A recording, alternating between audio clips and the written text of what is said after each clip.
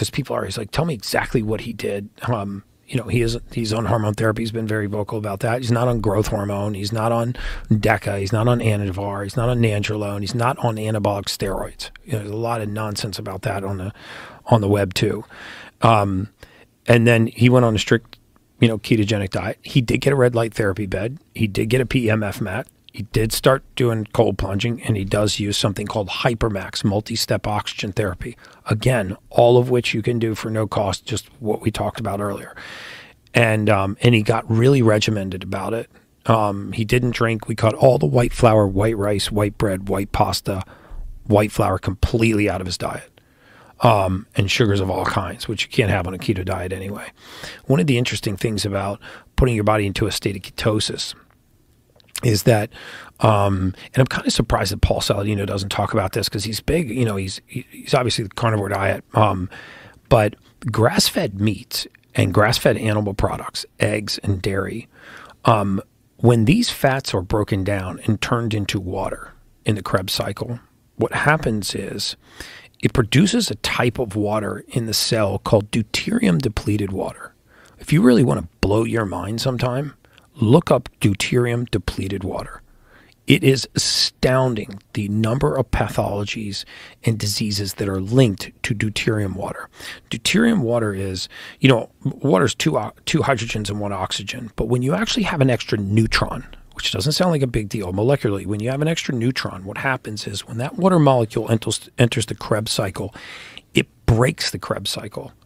It actually wrecks the mitochondrial metabolism when you eat a diet high in in um, grass-fed uh, animal fats, um, eggs, dairy, um, fatty fish, the type of water that the body creates is called deuterium depleted water. It's light water. It is actually more efficient. Doesn't break the mitochondria. Do you know that a human that our bodies produce about 100 gallons of intracellular water every day? And when I say that, people freak out. They're like, that's impossible. Um, I only drink a half a gallon of water. So, how does my body produce a gallon of water? You produce water inside your cells the same way we produce it in space. You take two hydrogens, one oxygen, you put them together, you have a water molecule. You're not capable of drinking enough water in two weeks to power your mitochondria for 50 minutes right? You have to create intracellular water. So we take these gases, we put them together, we create cellular water, and then we break it apart and inside of the Krebs cycle. So when that water becomes heavy, deuterium, some of the water that's entering that Krebs cycle starts to break the Krebs cycle and reduce its efficiency. When that water is light, like when it's generated um, when you're in ketosis or from grass fed um, animal fats, um, eggs, dairy, things like that, the um, or actually uh, even even even plant based fats like uh, uh, shelled hemp seeds, that water is light, and when it powers the mitochondria, it doesn't break any of of the Krebs cycle. And deuterium depleted water is now being used in cancer treatments, in all kinds of oncology treatments for difficult to treat cancers like glioblastomas and other things. Um, so I, I, look look up deuterium depleted water. You, you'll just be blown away by how much evidence there is for how healthy this type of light water is for us. You can also buy it and drink it, but it's retardedly expensive. You might as well have your body produce it by by eating healthy saturated animal fats from grass-fed sources. So you put him on this uh, prescribed ketogenic diet. Yep. And what were the foods? And so, other than grass-fed, um, so he ate meat, fish, chicken, eggs, avocado, coconut oil, olive oil, nuts. Um, basically, I said there are um, there's going to be five oils in your kitchen: um, grass-fed butter or ghee butter, a tallow or coconut oil um, for cooking. Period. So we only had tallow, grass-fed butter, ghee butter, or coconut oil, and those were for cooking. The only oil that he used at room temperature was olive oil. We didn't use that for cooking, but we used an extra virgin olive oil.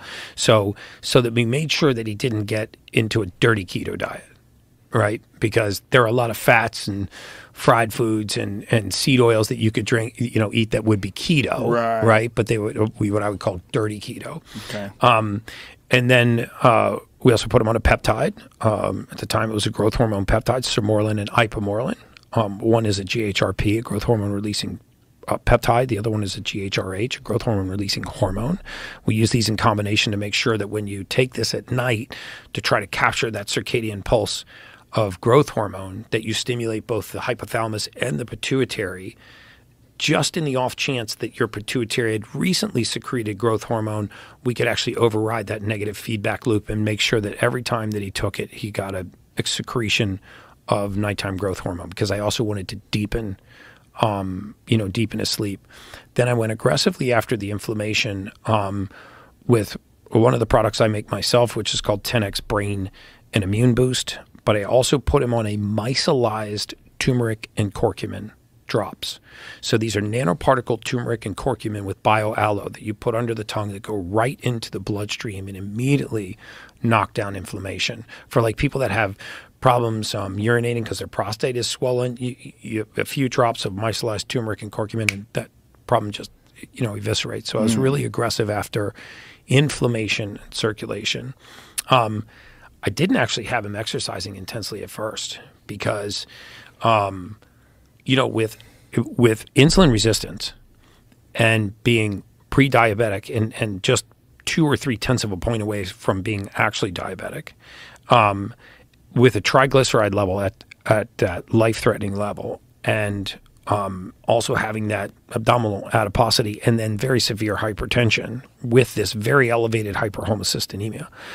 Then I put him on a 10x multivitamin. It's called Optimize. It's a it's actually a vitamin I designed myself. It took me about two and a half years to get all the methylated nutrients into the right formulation so that I could address all of these genetic breaks that he had.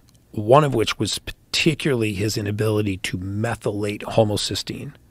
So I put him on a vitamin called 10x Optimize that I formulated myself, and then I got uh, trimethylglycine. I think I got that from Life Extension, but I got trimethylglycine. He took two capsules of, of trimethylglycine in the morning, and I'm telling you, Joe, week over week over week, if you ask him, he will tell you every week my average blood pressure reading started to come down.